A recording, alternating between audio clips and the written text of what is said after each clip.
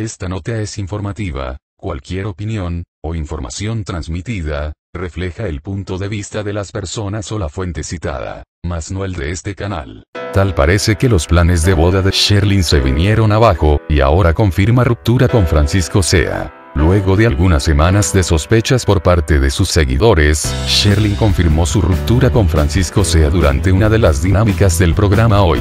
Sin dar muchos detalles con respecto a su rompimiento con el conductor y periodista, con quien además tenía planes de boda, la actriz confesó que lleva algunos meses sola y disfrutando de su trabajo. Durante la sección de Marifer Centeno la actriz abrió su corazón y, luego de que la grafóloga le afirmará que no ha recibido tanta lealtad de sus parejas, Sherlyn se animó a revelar la noticia. A pesar de que Galilea la alabó por cuidar ese aspecto y darse cuenta a tiempo de la falta de lealtad de los hombres, la artista comentó, pues no siempre, pero a veces sí.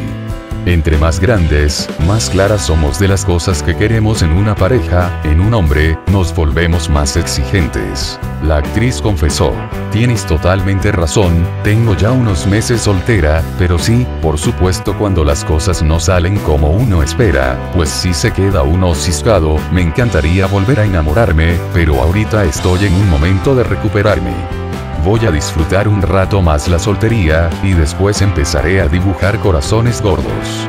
Agregó.